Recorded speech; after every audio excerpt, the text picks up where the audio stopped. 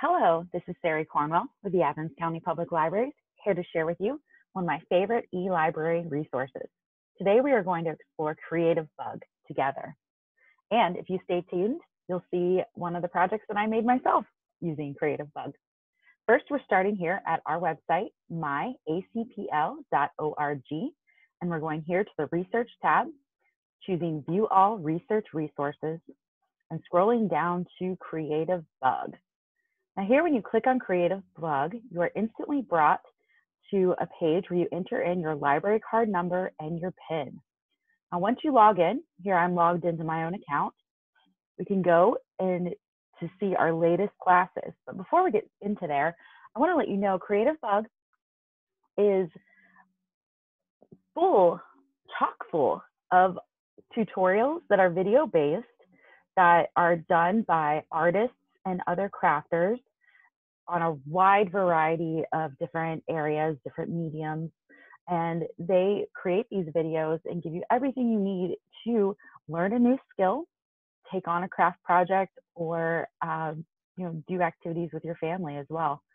So here, once we're into our account, we can see that there are categories listed here that can show you that they have various live classes, sewing, quilting, knitting and crochet, food and home, home decor type things, jewelry, and there is also a section specifically for kids. So if you want to do crafts with your kids, there's an area where you can find kid-friendly crafts.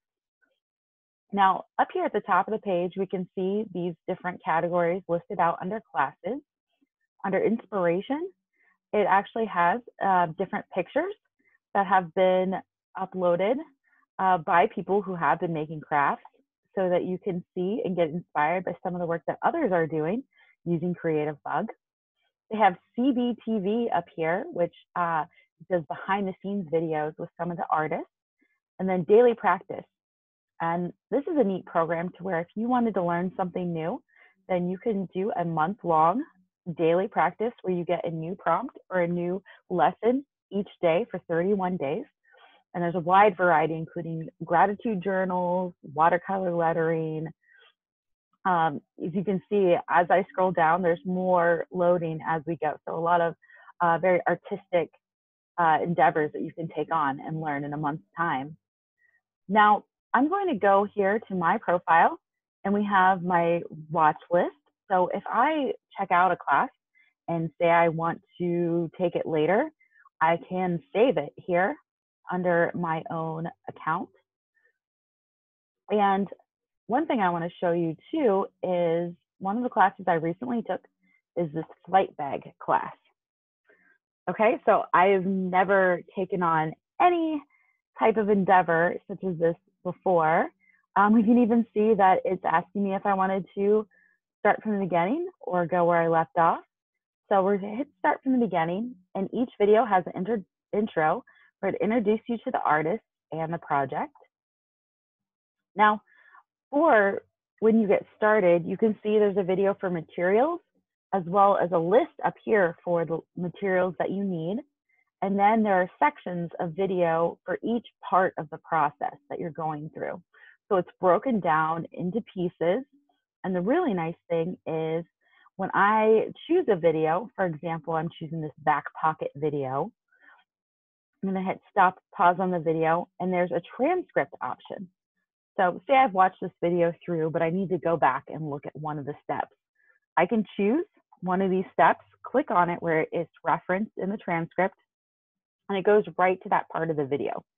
So I love this. This is my favorite uh, piece of functionality with Creative Bug.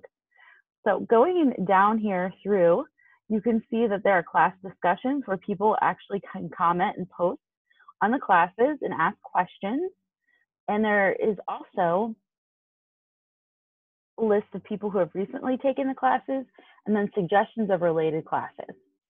Now I do want to show you, you there is a gallery where people who have created this bag can post photos of the bag.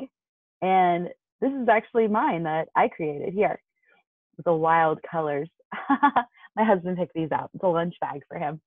Uh, and I want to let you know that I'd never taken on anything this complicated before. There's even a zipper. Yes, my first zipper. So Creativebug helped me with the confidence to take on this project and gave me everything I needed from lists of materials to even here a download where I could download the pattern, print it out on my home computer. Right there, it downloaded right away. And then I had the pattern that I needed to get started on this project. So I can't say enough great things about Creativebug. And I hope that you can take a chance to check it out. Again, it's something that's available for free uh, through the Athens County Public Libraries using your e-library card. And it's something people pay for. And um, we get it for free and it's pretty awesome. So enjoy your crafting.